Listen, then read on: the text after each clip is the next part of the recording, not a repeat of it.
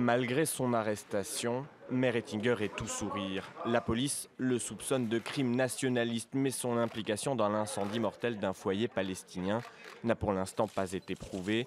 Il sera détenu jusqu'à dimanche. Deux autres Israéliens ont été arrêtés, dont Mordecai Meyer, qui sera détenu pendant six mois, sans procès. Il est le premier Israélien à subir cette procédure. Une condamnation très symbolique pour le gouvernement israélien, accusé de complaisance face aux ultranationalistes juifs. Nous allons combattre le terrorisme juif sans faire de compromis. Le cabinet a pris d'importantes décisions. Cela inclut ma recommandation de conduire le processus radical de détention administrative.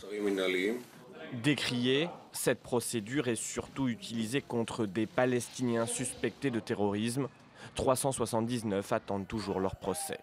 L'arrestation de Merettinger, elle, est également symbolique. Il est aussi le petit-fils de Mer Khan, le fondateur d'un mouvement raciste anti-arabe assassiné à New York en 1990.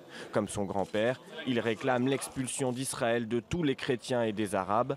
Son mouvement est soupçonné de harcèlement systématique contre les populations. Ils utilisent ces incendies pour terroriser les résidents et leur faire quitter leurs terres, mais cela provoque l'effet inverse. Cela les rapproche et ils sont encore plus liés à leurs terres que jamais. Si les attaques se résumaient surtout à des actes de vandalisme, elles ont franchi un nouveau cap vendredi dernier. Un bébé palestinien de 18 mois a trouvé la mort dans l'incendie criminel de sa maison. Des menaces ont également été proférées sur les réseaux sociaux contre le président Reuven Rivlin qui a fermement condamné l'attentat.